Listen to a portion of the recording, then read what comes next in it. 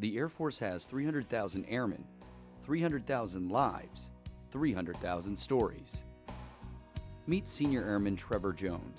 Airman Jones is a member of the Airman to Airman Safety Advisory Council. I had an ARI, alcohol related incident, and I was out one night. You know, it was a good night.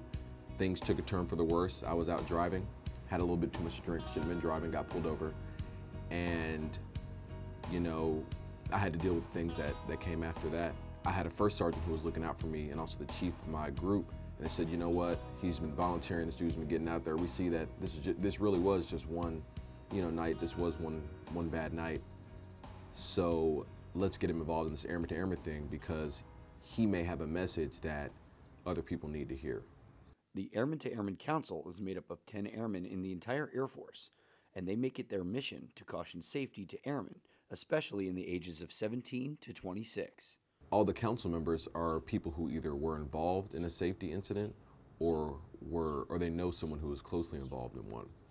And it gives these airmen a chance to say, yes, I messed up, or yes, I had one bad night. But you know what? I can, that mistake doesn't make me who I am. That mistake is not me, and I can prevent other people from doing something similar. Airman Jones does just that. He and his fellow council members have traveled to bases and units all over the world, telling their stories about topics like ARIs, motorcycle safety, and sexual assault. Staff Sergeant Peter Ising, Incirlik Air Base, Turkey.